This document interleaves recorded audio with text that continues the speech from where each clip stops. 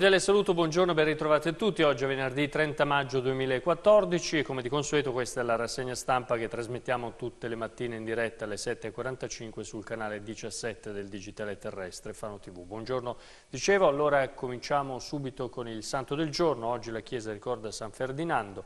Il sole è sorto alle 5.29 tramonterà alle 20.42. Il tempo è ancora guasto, si guasterà nel corso della giornata, più nelle zone dell'entroterra, con eh, nuvolosità variabile invece lungo la costa. Queste le previsioni per oggi, venerdì 30 dalla Protezione Civile delle Marche, come dicevo avremo cielo poco nuvoloso con aumento della nuvolosità nell'entroterra, nelle ore centrali della giornata e poi un rasserenamento successivo invece nel corso della serata. Per quanto riguarda le precipitazioni si avranno nelle ore centrali eh, con rovesci o temporali diffusi nelle zone interne con fenomeni localmente di moderata intensità, più probabili nei rilievi meridionali. Per quanto riguarda le temperature di oggi saranno stazionarie o in lieve aumento nei valori massimi. Per la giornata di sabato avremo cielo inizialmente nuvoloso con diminuzione della nuvolosità a partire dalla mattinata. Le precipitazioni saranno soltanto nella parte centro-meridionale della regione e interesserà soprattutto soprattutto le zone interne, mentre non si escludono piogge sulla costa, ma eh, relativamente alla zona meridionale della regione. Per domenica, domenica 1 giugno, anche qui ancora cielo poco nuvoloso con aumento della nuvolosità nelle zone interne durante le ore centrali, avremo precipitazioni deboli sparse più probabili nelle zone interne e nelle ore centrali della giornata. Le temperature stazionarie a un lieve aumento. Per i prossimi giorni avremo un inizio di settimana ancora sotto l'influsso negativo di una depressione, quindi eh, potrebbe esserci ancora eh, del cattivo tempo e anche dell'aria fredda che arriverà dalla Scandinavia, che indugerà appunto sulla penisola balcanica, scatenando poi eh, questo, queste perturbazioni. In seguito eh, pare profilarsi un periodo caratterizzato dalla presenza di un anticiclone, quindi quando si parla di anticiclone eh, di conseguenza si parla di miglioramento del tempo e quindi eh, di sole. Allora, cominciamo e andiamo a leggere i giornali, la pagina di Fano del Corriere Adriatico, l'intervista a Riccardo Severi, ex eh, La Tua Fano, ex assessore della Tua Fano, ex, ehm, del, ex eh, dire, collaboratore del sindaco Stefano Aguzzi che parla di eh, equilibrio e strategia che sono state perse in questi ultimi eh, tempi dalla lista. L'ex assessore Severi dice la tua Fano non è più il traino, perciò me ne sono andato. Era necessario cambiare già dal mese di luglio, ma nessuno se ne è accorto o lo ha voluto fare. Il voto di domenica scorsa, dice ancora Riccardo Severi, esprime il desiderio della gente di un vero cambiamento. Massimo Seri ha dalla sua dalla sua parte concretezza e novità. Per chi non segue eh, le vicende politiche locali, la, mm, Massimo Seri è, passato, è uscito dalla Tua Fano e fa parte della lista appunto di eh, Massimo Seri. Mentre eh, Giacomo Mattioli dice faremo opposizione responsabile, Giacomo Mattioli è il segretario della Tua Fano che ha detto io sono disposto a rimettere il mio mandato dopo il risultato ottenuto domenica scorsa alle urne, eh, poi dice comunque noi continueremo eh, nella nostra nella nostra battaglia, anche se faremo opposizione, cercheremo di mantenere Aset pubblica, eh, a Fano poi cercheremo appunto di far fondere le due Aset, Aset Holding e Aset Spa, diremo no al biogas, no al passaggio di Marotta sotto Mondolfo e faremo di tutto per difendere l'ospedale di eh, Fano. Intanto tra Massimo Seri e Adaro Miccioli, che ricordo andranno al ballottaggio l'8 di giugno, non, eh, tra loro non si risparmiano le frecciate, il candidato del centro-sinistra dice la città ha voglia di cambiare, la replica del grillino «Solo noi siamo nuovi». Abusivismo, bed and breakfast contestati, eh, tassa di soggiorno da 51 attività sono arrivati poco più di eh, 6.000 euro. Gli albergatori fanesi sono sul piede di guerra contro l'abusivismo, un dato emerso dal consuntivo dell'incasso del comune dalla tassa di soggiorno. A Fano, ad esempio, sono in attività 51 bed and breakfast, ebbene la somma complessiva pagata da questo settore per il 2013 è solo di 6.329 euro. Come dire, i conti insomma, non tornano.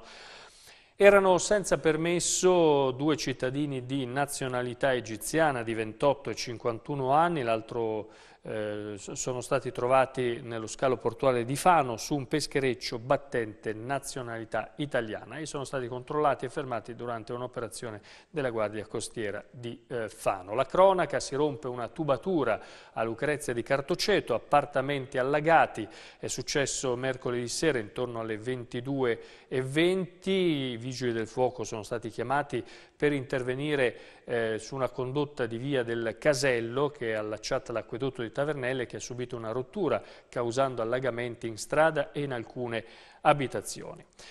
Urta un ciclista e fugge, era un amico, il diciannovenne caduto dalla bicicletta, lo ha scoperto dopo l'individuazione e la denuncia del pirata. Martedì scorso, intorno alle 4 del pomeriggio, a Sant'Orso, eh, questo, questo mh, automobilista aveva urtato un ciclista e non si era fermato a prestare soccorso. La cosa curiosa, scrive il Corriere Adriatico di questa mattina, è che la vittima dell'incidente era un amico e il ragazzo ha saputo dell'accaduto accaduto solo quando è stato rintracciato dagli agenti del commissariato di Fano. E poi eh, c'è anche la notizia di un altro incidente, un incidente a tre ponti, due donne coinvolte in un tamponamento che sono poi finite all'ospedale.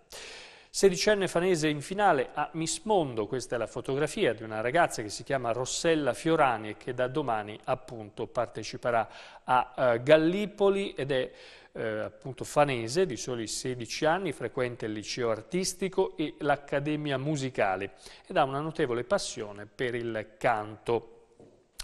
Andiamo a leggere adesso l'altra pagina invece del eh, Corriere Adriatico, quella di eh, Pesaro. Oggi a Pesaro c'è il cambio della guardia, domani la nuova giunta, la componente femminile dell'esecutiva resta l'ultimo rebus per Ricci, salgono le quotazioni di, Cin di Cinzia Ceccaroli. Oggi praticamente alle 15.30 nella sala rossa del municipio a Pesaro saranno ufficializzati i risultati del, del voto del 25 maggio e verrà effettuato il passaggio di consegne tra Luca Ceriscioli e il nuovo sindaco di Pesaro Matteo Ricci. Anche per la Regione si riparte dal PD, Gostoli evita bilanci in attesa dei ballottaggi di Fano Urbino, ma esulta. Il successo è stato davvero un successo eh, straordinario. Per l'entroterra faremo un'analisi puntuale tra i comuni riconquistati e quelli perduti.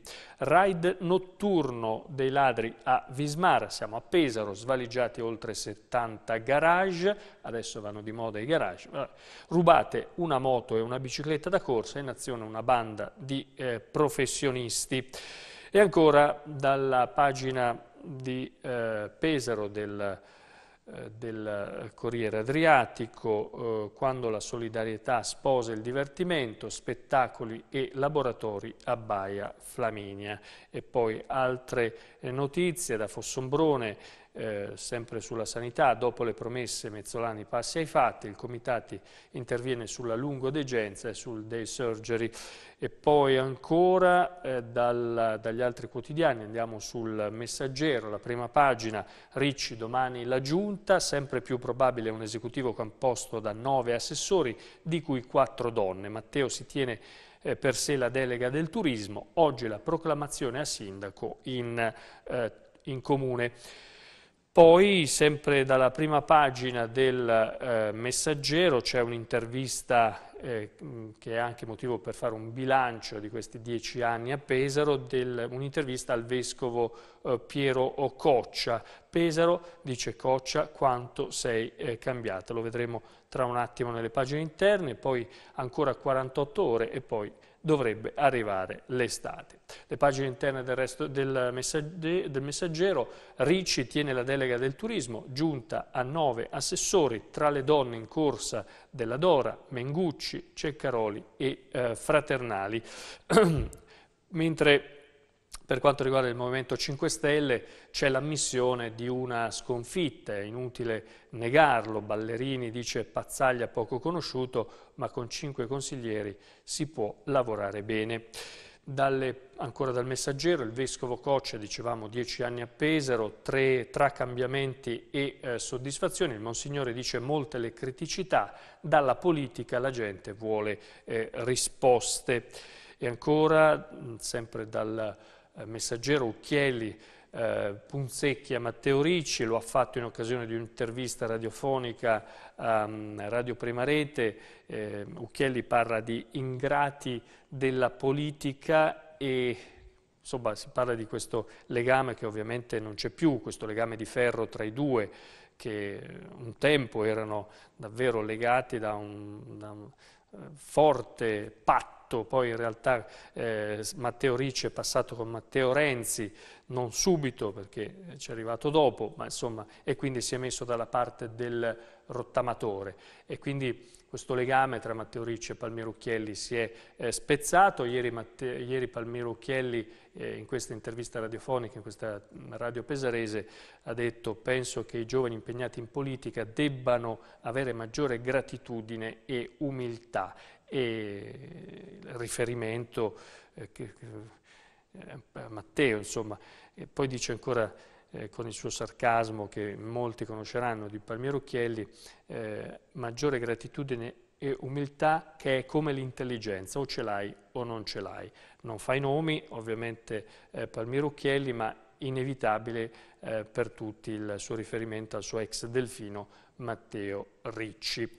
Allora andiamo adesso pagina, sulle pagine del resto del Carlino, anche qui ehm, si parla della giunta 9 di Matteo Ricci e poi si parla dei sondaggisti. A Pesaro ne abbiamo due con una società che abbiamo imparato a conoscere, la Sigma Consulting di Pesaro, che a differenza di, di tante altre società di cui si è parlato, società che sono state anche criticate perché abbiamo visto come eh, in molti casi hanno, abbiano sbagliato eh, a dare i risultati, in particolare anche a livello europeo, eccetera. Nessuno aveva previsto questo Expo A, il 40% per esempio del PD, così come non avevano previsto il flop del Movimento 5 Stelle. Ebbene, quelli che invece lo hanno fatto sul nostro territorio, anche noi lo abbiamo fatto eh, con questa società, devo dire che anche il resto del Carlino questa mattina mette in evidenza come invece i sondaggisti fatti in casa ci hanno preso. Sigma Consulting ha azzeccato il risultato di Pesaro e eh, Fano. In questa fotografia vedete Alberto Paterniani a sinistra e eh, Marco eh, Coltro di appunto Sigma Consulting a destra. E su Fano dicono, eh, in questo caso avevamo detto che ci sarebbe stato un candidato forte del centro-sinistra e uno del Movimento 5 Stelle, mentre gli elettori dei tre candidati di centrodestra si sarebbero spaccati praticamente in parti uguali e così è stato. La cronaca sulla pagina di Pesaro del, del, resto del Carlino violenta la figliastra di 12 anni, poi la obbliga ad abortire, a processo l'ex convivente quarantenne della madre, ha messo le mani addosso anche alla sorella più grande, mettendola ugualmente incinta, una storia davvero ai limiti della follia, è una storia che però si è consumata dal 2008 al 2010, eh, tutto questo a Pesaro, poi a Bari dove la famiglia si era eh, trasferita fino al 2013. Eh, la madre delle due ragazzine, compagna dell'uomo, non si era mai accorta di nulla, lui è un quarantenne barese di cui non, eh, il Carlino non scrive il nome per difendere soprattutto l'anonimato delle ragazze. Eh, ieri si è aperto il processo a Pesaro nei confronti dell'uomo davanti al GUP Lorena Mussoni. Assalto ai garage, rubata anche una Yamaha 600 e una bici da corsa, poi ancora le, le notizie di, di, in breve di cronaca, una pensionata è stata raggirata nel centro di Pesaro ehm, e hanno, le, le, hanno sfilato un orologio d'oro, è stata raggirata e poi agganciata da due sconosciuti con una scusa due persone si sono avvicinate ad un'anziana che stava rientrando in casa, in qualche modo l'hanno distratta fino al punto di sfilarle un orologio d'oro di un certo valore e pensate che come sempre accade in questi casi, questi signori sono purtroppo bravissimi e riescono a non farsi accorgere e, e quindi riescono sempre a mettere a segno i loro propositi. Dopo le minacce, una valanga di voti, la doppia vittoria di Attilio Patrignani. Attilio Patrignani eh, l'ex sindaco di Monteporzio che dopo due mandati da primo cittadino era candidato come consigliere nelle file della lista Il Comune per Tutti, guidata da Giovanni Brecce. Ebbene, era stato eh, minacciato, aveva trovato sul suo parabrezza della Alfa eh, Romeo Mito un biglietto eh, che gli intimava di ritirarsi dalla contesa elettorale perché altrimenti sarebbe successo qualcosa alla moglie e ai figli.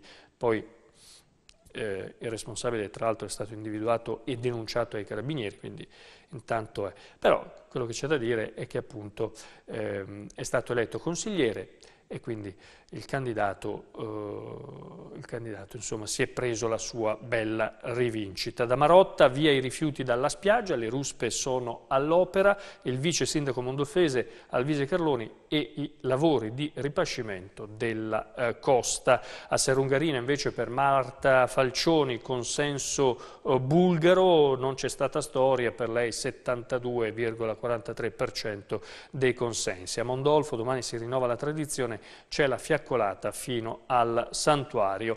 Chiudiamo con eh, la pagina ehm, la pagina di eh, Pesaro in primo piano del Resto del Carlino, provincia in 71 verso il prepensionamento, se ne andranno entro il 2015 anche 5 dirigenti, ora ci sono 541 dipendenti. È tutto per la nostra rassegna stampa. Grazie per averci seguito. Vi ricordo questa sera alle 20.30 Occhio alla Notizia e poi il nostro sito internet occhiolanotizia.it. Buona giornata.